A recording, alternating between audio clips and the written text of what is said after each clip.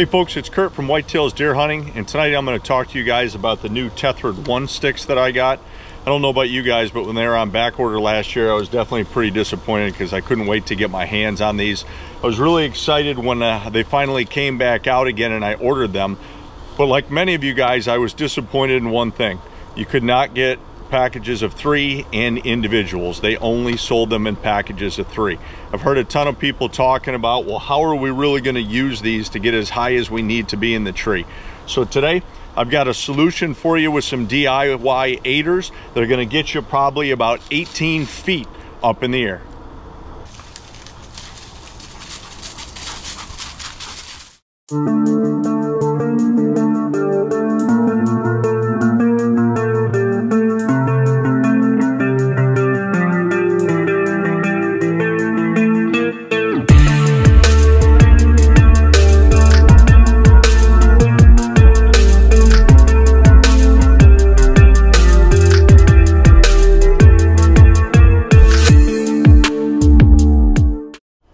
Couple of things before I go ahead and talk to you about the aider itself. Uh, if you look up here at the stick, I've done a video already on how I stealth strip these to keep them quiet and also use some things called stick stack stow clips from a company called Genesis 3D. And both of these things have really made it a lot easier for me to be using these sticks out here in the fall.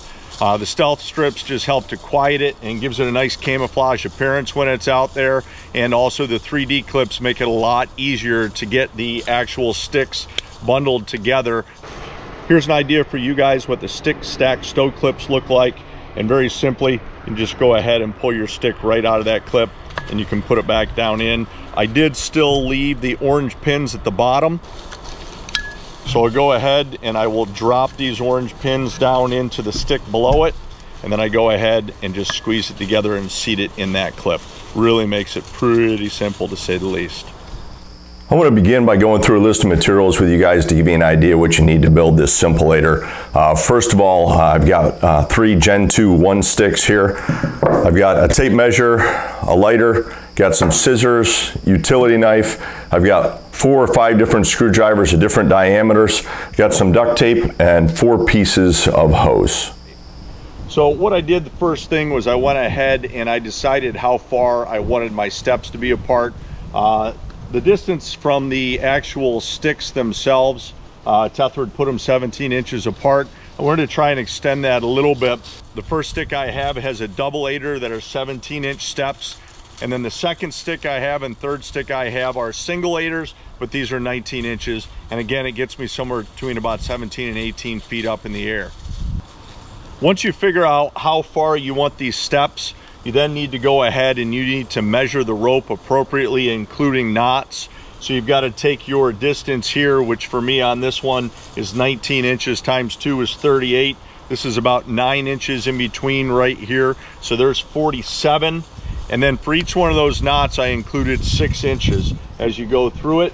And then I made sure to leave um, some extra on the ends. What I actually did on these so that I would not end up being in a situation that I cut it too short was I went ahead and tied the first knot on this side, tied the knot on the top, extended my rope all the way down, tied my knot here, put my hose piece on, tied my knot on this side, this 19 inches, tied my knot on this side, and then left all the extension that I had here of another six or eight feet of rope, and then I was able to cut it from there.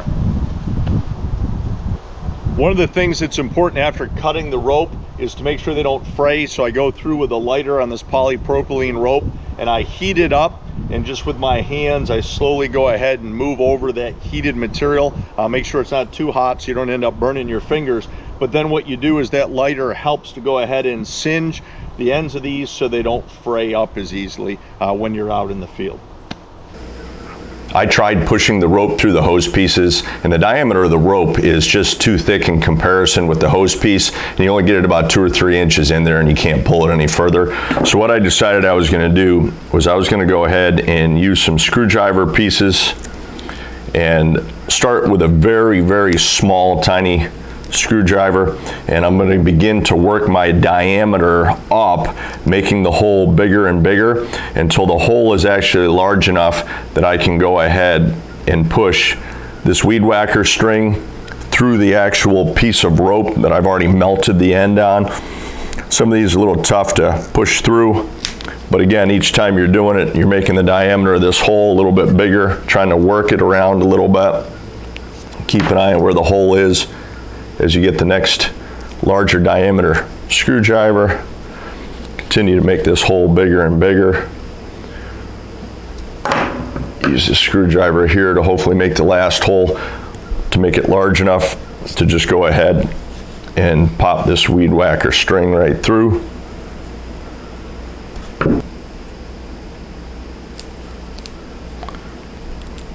There, finally. Got that weed whacker string pulled through there.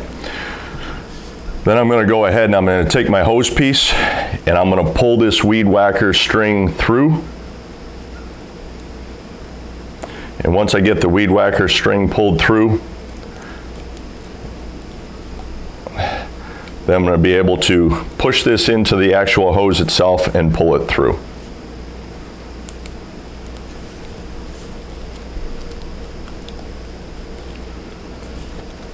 Sometimes it helps to have a pair of pliers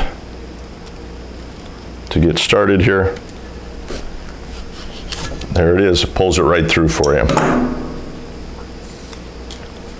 I'm going to take simple overhand knot and I'm going to go ahead and tie this overhead knot in up against the actual piece of hosing itself. And I'm going to do the uh, same thing on the other side.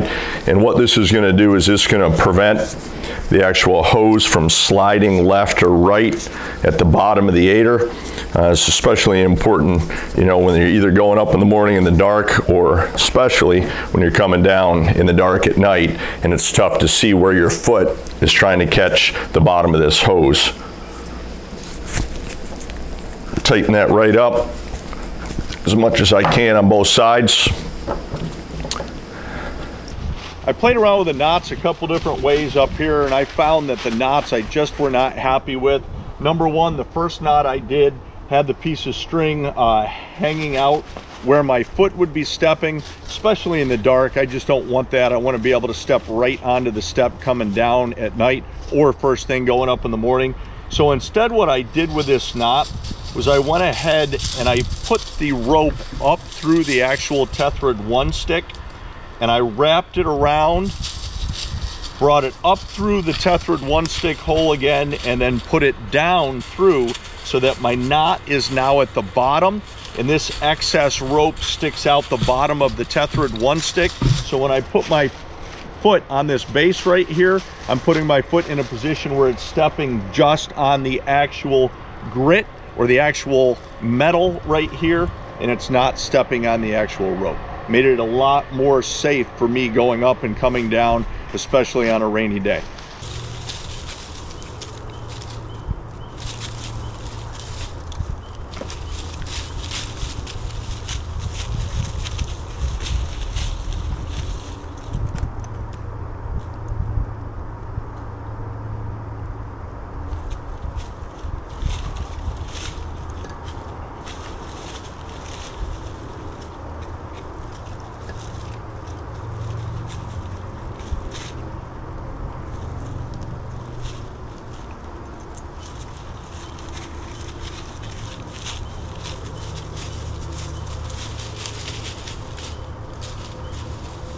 I just want to show you guys real quick how I put these together.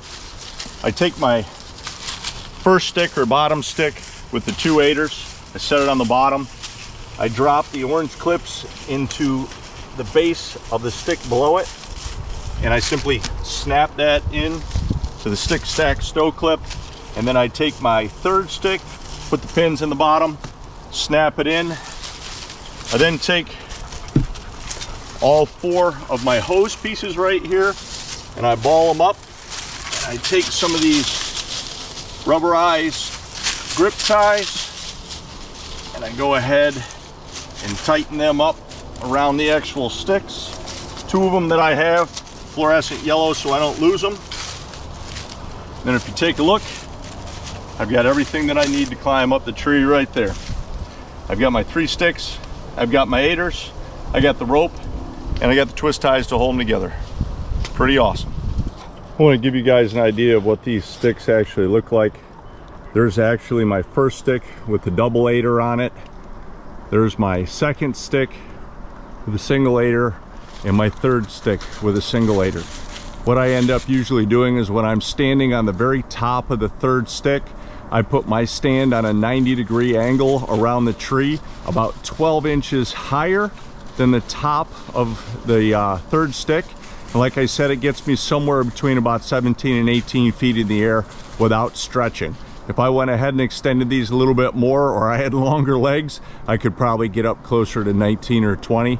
But again, here's a great solution for only having three Tethrd one sticks and how you can use some very simple aiders to get yourself a little bit higher in the tree this fall when you go out to hunt. Good luck guys. If you got any questions, go ahead and put them in the comments. This is Kurt from Whitetails Deer Hunting.